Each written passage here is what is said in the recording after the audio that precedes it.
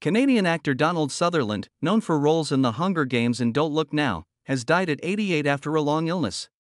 His son, actor Kiefer Sutherland, called him one of the most important actors in film history, noting his unwavering passion for acting. Sutherland had nearly 200 credits in a career spanning over 50 years, eliciting tributes from actors and public figures. Rob Lowe, Cary Elwes, and Jane Fonda shared heartfelt remembrances, praising his charisma, intelligence, and dedication.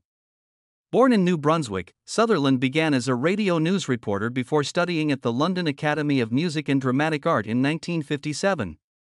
His career included notable roles in The Dirty Dozen, MASH, Klute, Ordinary People, and Six Degrees of Separation. Despite never receiving an Oscar nomination, he earned an honorary Academy Award in 2017. Known for his political activism, Sutherland protested the Vietnam War with Jane Fonda and brought his beliefs into roles like President Snow in The Hunger Games.